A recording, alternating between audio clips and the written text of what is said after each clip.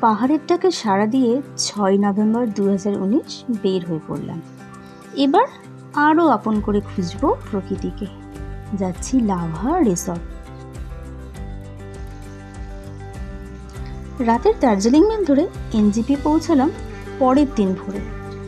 তারপর দুলকি চালে শিলিগুড়ি পৌঁছে একটা শেয়ার গাড়ি চেপে বসলাম।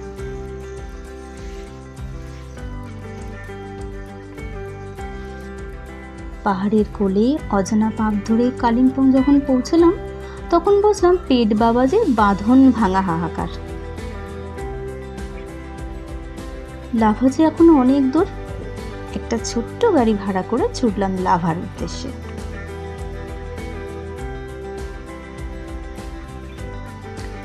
রাস্তা এখন এত ব্যস্ত না। দুধারে সাজানো বাড়ি রং বেরঙের নানান ফুলের গাছ। মনে হলো আমাদেরকে আমন্ত্রণ করে বলছে আরও কাছে এসো।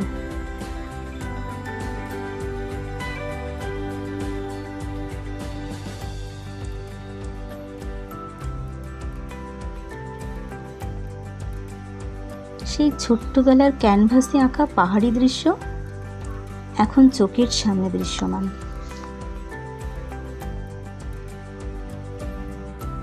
আমাদের হোটেল সেরোলিয়ান ইন যখন পৌঁছলাম, তখন দুপুর দুটো বেজে গেছে। পেট পুজো সেরে বের হয়ে পড়লাম লাভা মনেস্ট্রির উদ্দেশ্যে। লাভা একটা ছোট্ট শহর। সাড়ে ছটার পর রাস্তায় লোকজন দেখা পাওয়া খুব কঠিন হয়ে যায়।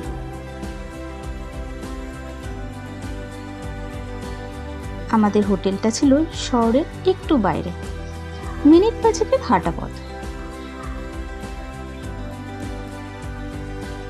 পৌঁছে গেলাম বৌদ্ধ মন্দিরে। আমার কন্যার উৎসাহ আনন্দ সে যথেষ্টভাবে চোখে পড়ার মতো।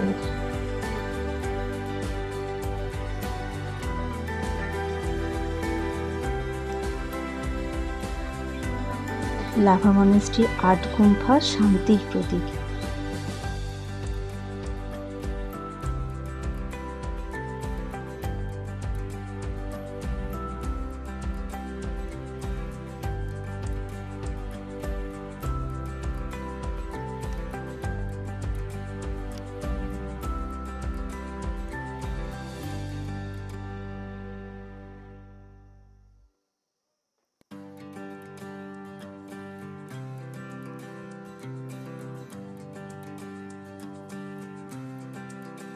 গুম্ফার পাশ দিয়ে আরও উপরে লাভা মনেস্ট্রি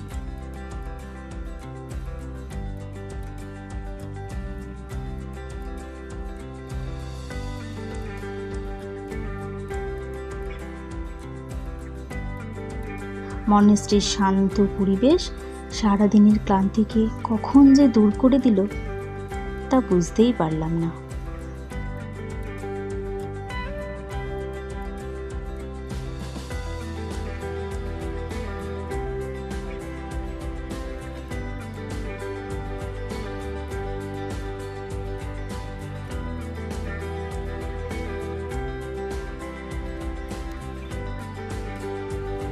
কিছু সময় কাটাবার পর কোথা থেকে মেঘ এসে আমাদের চোখের সামনে দেখা ক্যানভাসটা মুছে দিতে শুরু করল।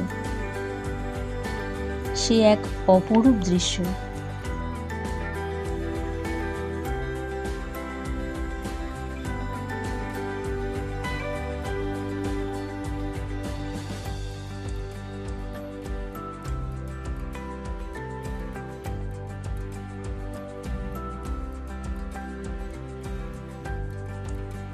সন্ধ্যা নামার পালা এবার। পাহাড়ের মাথায় প্রকৃতি যেন আগুন জ্বেলেছে।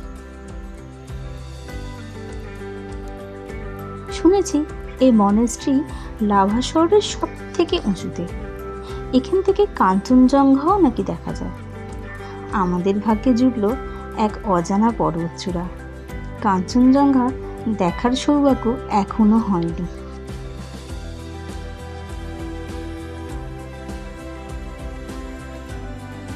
পরের দিন, অর্থাৎ আটই নভেম্বর, আমরা চড়লাম নিচের দিকে। ঋষি খোলা যাব বলে। পথের মাঝে দেখা মিলল শ্বেত শুভ্র কাঞ্চনজঙ্ঘার আর মন বলে উঠল আপন মনে, যাহা দেখিতে আসিয়াছি, তাহা যে চক্ষু সম্মুখে। আহা, কি সুন্দর দৃশ্য।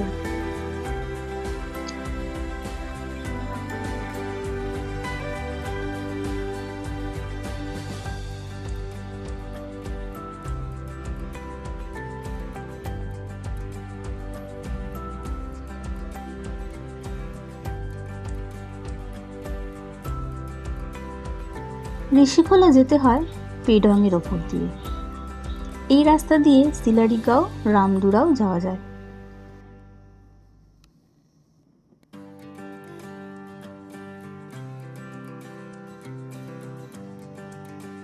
আমরা সোজা চলেছি ঋষিকোলার উদ্দেশ্যে। যত নিচের দিকে নামছি, তত যেন সামনের পাহাড়ি শাড়িগুলো আমাদের চোখ রাঙাচ্ছিল।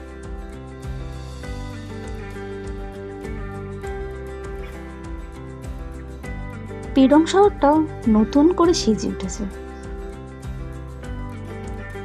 অনেক হোমস্টেও গজিয়ে উঠেছে পাহাড়ের ঢালে।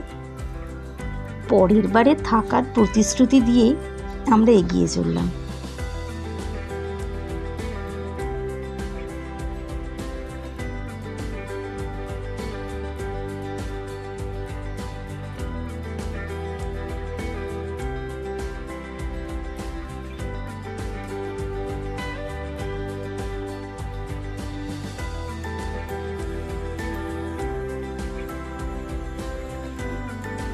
পথে দেখা হলো, নাম যেন পাহাড়ি ঝর্ণার।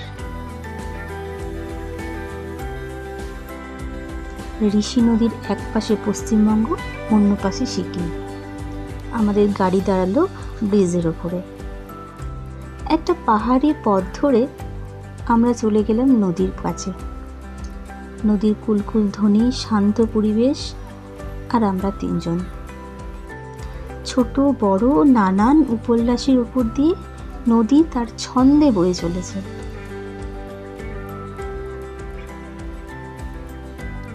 দেখলে মনে হচ্ছিল ওপারটা খুবই কাছে। এক্ষুনি হয়তো চলেই যেতে পারব, কিন্তু তার স্রোত ছিল প্রবল। জলটা একটু ছুঁয়ে দেখার বড় স্বাদ হলো। যে রাস্তা ধরে নিচে নেমেছিলাম সেই রাস্তা ধরে আবার ওপরে উঠে এলাম। আর আসতে গিয়ে অনেক ঝোপ, লতা, পাতা পায়ে খুব আটকাচ্ছিল।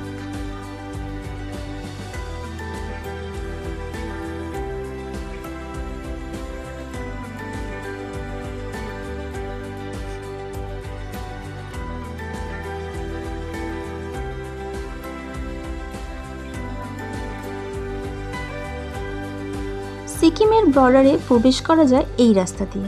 এই রাস্তা সোজা জুলুকে চলে গেছে। গরম চায় চুমুক সেরে এবার যে হোটেলে ফিরে আসতে হবে। ঋষিখোলার সফর শেষ করে আমরা ফিরে যাব হোটেলে। চা বাগান আর রিসপের গল্পটা তোমাদের বলব আমাদের পরবর্তী ভিডিওতে। ভিডিওটা ভালো লাগলে লাইক করতে কিন্তু ভুলো না। আর সাবস্ক্রাইব আমাদের চ্যানেলটাকে অবশ্যই করো। নেক্সট ভিডিওগুলো পাওয়ার জন্য। আজ তাহলে এইটুকুন থাক।